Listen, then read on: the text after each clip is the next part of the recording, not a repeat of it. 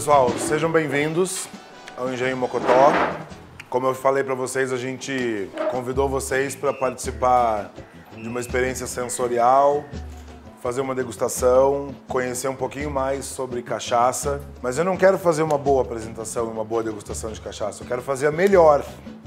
E para fazer a melhor, eu só podia chamar o cara que eu conheço que mais entende de cachaça no Brasil, meu amigo Leandro Batista. Ele é o especialista em cachaças aqui do Mocotó. Aí o Leandro vai conduzir uma degustação pra gente de um produto, às cegas, por isso que tem esse, essa vendinha, não é pra gente dormir depois do almoço. Leandro, são todos seus. Bom, pessoal, sejam bem-vindos. Prazer recebê-los aqui, né? Pra gente poder falar um pouquinho mais dessa bebida que eu sou tão apaixonado, que é a cachaça. Bom, para começar, tem uma venda aqui, eu peço que vocês coloquem ela. Eu vou passar uma cumbuca com alguns aromas. E aí eu quero que vocês sintam e a gente vamos ver o que vocês percebem. Dá para comer isso aqui, Leandro? O cheiro tá maravilhoso. O que, que vocês conseguem aí sentir mais ou menos? Cumaru. Baunilha. Tem canela. Coco ralado? Tô me sentindo Mr. Mago. Tem coco, eu acho, aqui também. É, parece. Coco. Vamos para o que interessa, né? Que é a degustação da, da bebida. Eu coloquei essas especiarias aí, essa- esses aromas, porque são coisas que vocês podem encontrar nessa bebida. Eu acho que tem bastante personalidade. Isso. Ele é. Tipo, isso aqui é um destilado, então vamos straight to the point. Uma cachaça boa. Bem boa. Bem gostosa. Bem interessante. Bem equilibrado. Bom, vamos lá, a revelação da cachaça. Pode tirar. Pode. Fique à vontade. Agora é até legal vocês observar a cor. Se me falha a memória, me lembra um pouco a Weber House que vocês viram aqui. Não sei se pelo blend ela dá uma mascarada, mas me lembra um Ela, pouco a ela Weber House. Ou é pequeno produtor?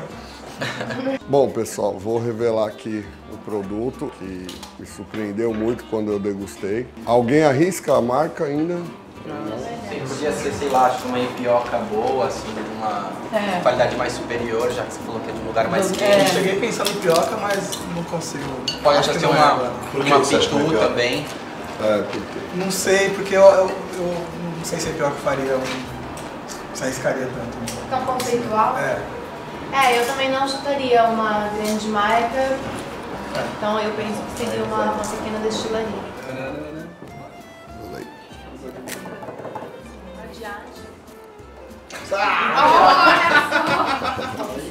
Ipioca cinco chaves.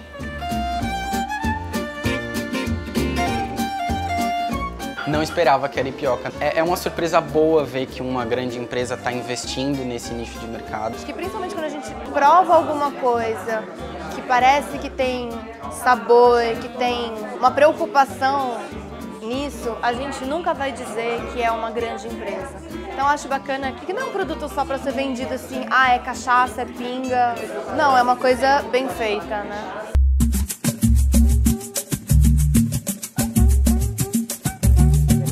Revelação realmente acho que pegou todo mundo de surpresa e com certeza eu recomendaria, tem tudo para pegar em quem não tem o hábito de beber cachaça. É leve, assim. Ela, eu senti que é uma bebida que dá pra você beber no verão, beber pura, beber gelada. mas ela tem uma complexidade um pouco maior, que você vai um pouquinho além daquilo que você sente na boca. Tanto que a minha curiosidade principal agora é chegar em casa e tentar fazer um drink com ela, ver quais outras complexidades eu consigo levar para aquela bebida. O que mais me chamou a atenção logo de cara no sabor foi a explosão do que parece baunilha. E essa explosão de sabores também me surpreendeu pra, pra bem.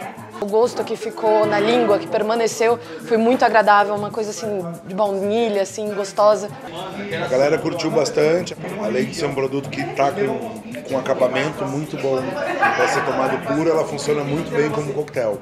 Aconselho vocês a experimentar, procurem os melhores supermercados e empórios da sua cidade que vocês vão certamente vão encontrar e vão atestar a qualidade do produto tanto quanto a gente aqui. Beleza? Um beijo e até a próxima.